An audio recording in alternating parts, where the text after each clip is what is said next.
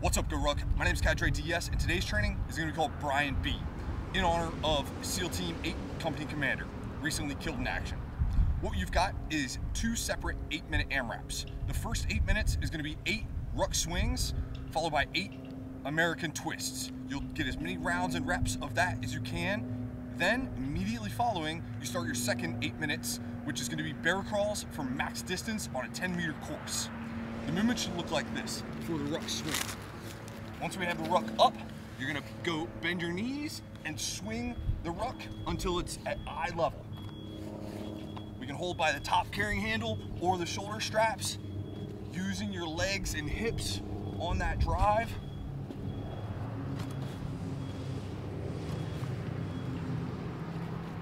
These should be difficult at a weight, but keeping your back straight and utilizing your legs and hip drive to move that ruck each time.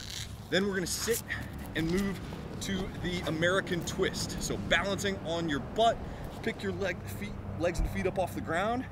Each time it touches right to left for one rep.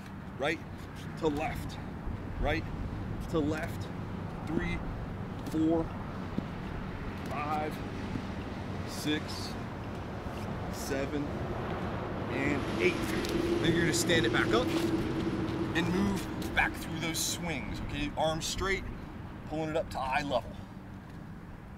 You're gonna work for eight minutes. Then, ruck on and bear crawl, okay? This is gonna be a real grinder.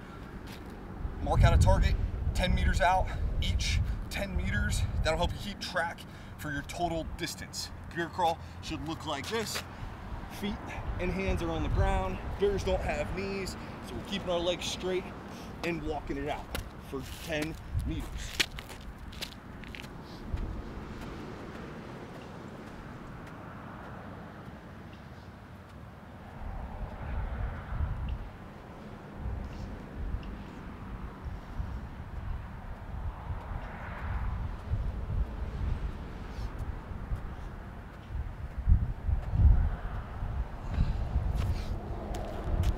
Try to get as far in that eight minutes as you can without going to your knees or standing up.